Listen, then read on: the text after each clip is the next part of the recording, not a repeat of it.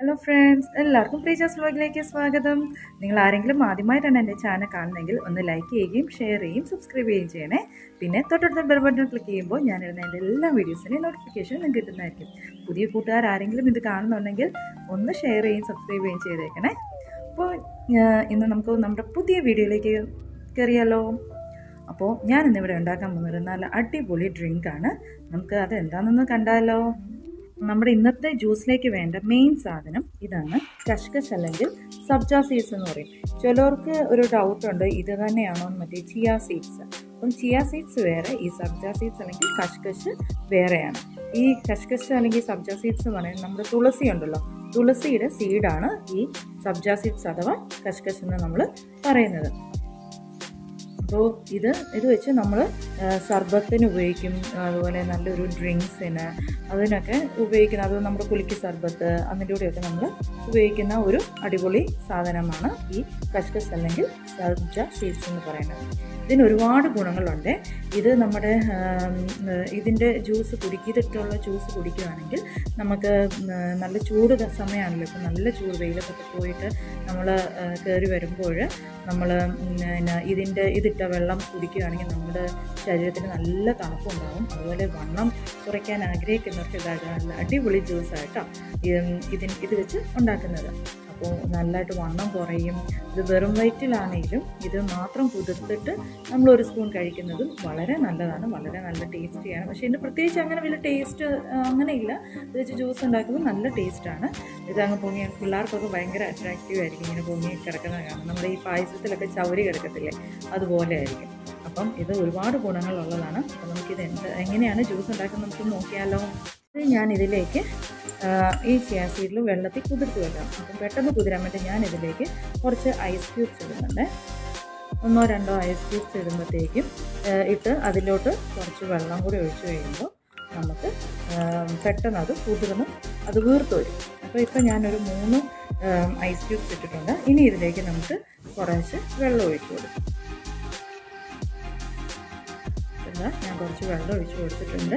ഇനി നമുക്കിതൊന്ന് നന്നായിട്ടൊന്ന് ഇളക്കി കൊടുക്കാതെ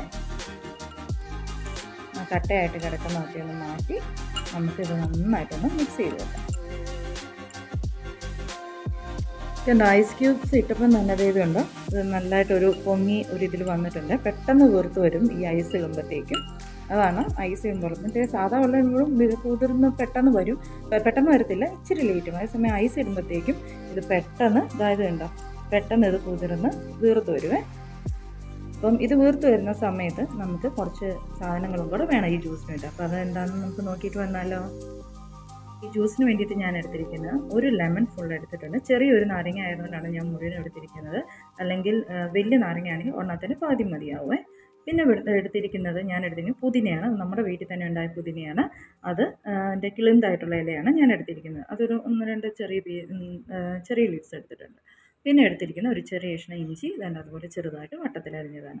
ഇത്രയും സാധനങ്ങൾ നമ്മൾ ഈ നാരങ്ങ ഇത് പിഴിയണം കേട്ടോ. പിഴിഞ്ഞതിന്റെ ഇങ്ങനെ ഇട്ട് അടിക്കുന്നവരുണ്ട്. പക്ഷേ അത് അന്നേരം തന്നെ നമ്മൾ കുടിക്കണം. അല്ലെങ്കിൽ പെട്ടെന്ന് കൈക്കും ഒരു അതിന്റെ ആ ഒരു കയ്പ്പ് വരും. അപ്പം നമുക്ക് ഞാൻ പിഴിഞ്ഞാണ് മിക്സിയിലോട്ട് ഒഴിക്കാൻ പോകുന്നത്. അപ്പം ഞാൻ പിഴിഞ്ഞ് ഒഴിച്ചിട്ട് പിന്നെ ഇത് രണ്ടും കൂടെ അതിന്റെ അകത്തോട്ടിട്ട് പിന്നെ ആവശ്യത്തിന് നമ്മുടെ ടേസ്റ്റിനുള്ള പഞ്ചസാരയും ഒരു നുള്ളു ഉപ്പും കൂടെ ഇട്ട് നമുക്ക് മിക്സിയിൽ ചേർത്തിട്ട് നന്നായിട്ടൊന്ന് കറക്കി എടുത്തിട്ട് വന്നാലോ? ഇതിന്റെ മധുരത്തിന് ആവശ്യമായിട്ടുള്ള പഞ്ചസാരയും കൂടെ ചേർത്ത് കൊടുക്കുക ഇനി നമുക്ക് ഒരു നുള്ളു ഉപ്പും കൂടെ ചേർത്ത് കൊടുക്കുക ഇതിലേക്ക്.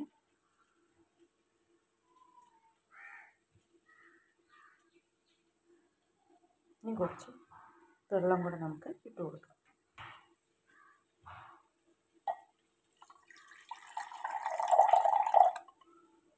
ആവശ്യത്തിന് ഈ ഒരു വെള്ളം മതിയാവും. ഇനി നമുക്ക് നന്നായിട്ടൊന്ന് മിക്സിയിട്ട് അടിച്ചെടുത്തിട്ടുണ്ട്. ഇനി നമുക്ക് ഈ ഒരു ഗ്ലാസ് എടുത്തിട്ടുണ്ട് ഈ ഒരു ഗ്ലാസ്സിലേക്ക് നമുക്ക് കുറച്ച് ഐസ് ക്യൂബ്സ് ഇട്ട് കൊടുക്കാം. അപ്പോൾ നമ്മുടെ കസ്കസ് എല്ലാം നല്ലതായിട്ട് കുതിർന്ന് പൊങ്ങി വന്നിട്ടുണ്ട് കേട്ടോ. ഇത് നമുക്ക് ഇതിലേക്ക് ഇട്ട് കൊടുക്കാം. നമ്മുടെ കസ്കസ് ഇതിലേക്ക് ഇട്ട് കൊടുക്കാം.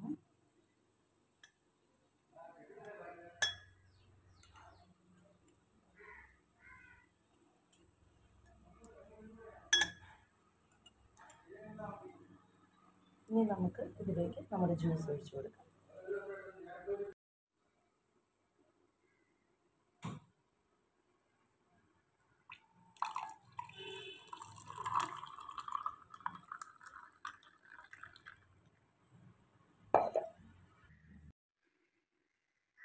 നമ്മുടെ ചൂട് കാലത്ത് നമുക്ക് കുടിക്കാൻ പറ്റിയ നല്ല അടിപൊളി ജ്യൂസ് ഇവിടെ റെഡി ആയിട്ടുണ്ട്. നിങ്ങളെല്ലാവരും ഒന്ന് ട്രൈ ചെയ്യണേ. ഈ കസ്കസ് എന്ന് പറയുന്നത് നമ്മുടെ ശരീരത്തിലെ ചൂട് കുറച്ച് നല്ല തണുപ്പ് നമുക്ക് നൽകും. അതുപോലെ തന്നെ വണ്ണം കുറയാൻ ഏറ്റവും നല്ലൊരു റെമഡി പെടുന്നതാണ് നമ്മുടെ ഈ കസ്കസ് അത് കഴിച്ച് അത് വെറുതെ ആണെങ്കിലും സോക്ക് ചെയ്തിട്ട് നമുക്ക് കഴിക്കാം. ജ്യൂസിന്റെ ഒന്നും കൂടെ ഇടാതെ. നല്ല ഇതാണ്. വലിയ ടേസ്റ്റ് ഇല്ല പക്ഷേ നമുക്ക് നല്ല ഗുണം ചെയ്യുന്ന ഒരു സാധനമാണ് ഈ കസ്കസ് വണ്ണം പെട്ടെന്ന് കുറഞ്ഞു കിട്ടും. അതുപോലെ ഇത് കസ്കസ് കഴിക്കും കഴിക്കുന്നത് കൊണ്ടുള്ള ഗുണമെന്ന് വെച്ച് കഴിഞ്ഞാൽ നമ്മുടെ ശരീരത്തിൽ ചൂട് കുറച്ച് നല്ല തണുപ്പ് നമുക്ക് എല്ലാവരും ഒന്ന് ട്രൈ ചെയ്തിട്ട് എന്നെ കമൻസ് അറിയിക്കണേ. അടുത്ത ദിവസം ഇതിലും നല്ല കിടിലം വീഡിയോ ആയിട്ട് ഞാൻ വരുന്നവരേക്കും ബൈ